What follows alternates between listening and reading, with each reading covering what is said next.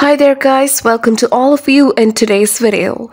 Do you want to know about Allisar reviews? So here we are going to update you with this unbiased review in this video. So please stay connected with us.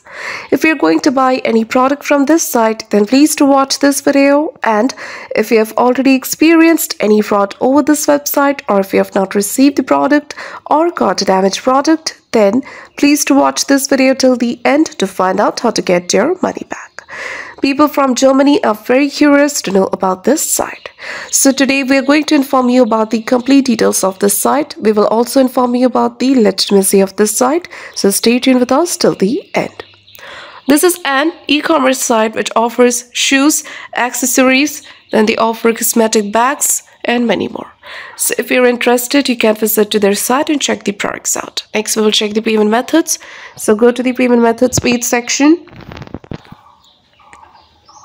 Here it is, they accept Visa, MasterCard, also PayPal. Next, we will check the shipping timing, but, they do not have a separate page section for that. Let's check in the FAQs. And they've given where do they ship from. Here they've given the shipping timing. So the order processing usually takes about 3 to 5 days. And the delivery takes 14 to 21 days. And the products are delivered within 14 to 21 business days. Next, before going further, it is requested from you all to like, share and subscribe to our channel. And also please do share your viewpoints in the comment section. We will now talk about the legitimacy factors with the help of which you can judge whether this website is a legit or a scam site.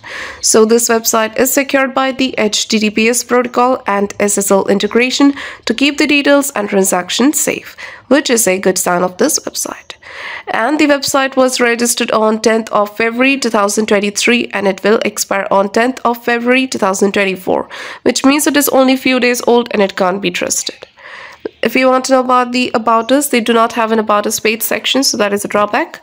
If you want to know about the contact details, they have given their physical address, but the physical address is not a legit address. Next, we are going to check the and refund policy. So if you would like to return your product, you have seven days only. And if you want to know about the refund, they do not have a separate section for that as you can see, but here they mentioned that you will get your refund back within 3 to 7 days. So to comment about your experience in return or refund of the product. For return or refund issues, check our description area. There you will find the link through which you can solve your money issues. Now talking about the Allisar reviews, there are no customer reviews available currently and the trust ranking of this site is only 38.4%. Also, the content quality is totally plagiarized. So, in the conclusion of the Allisar reviews, this website appears to be a scam website.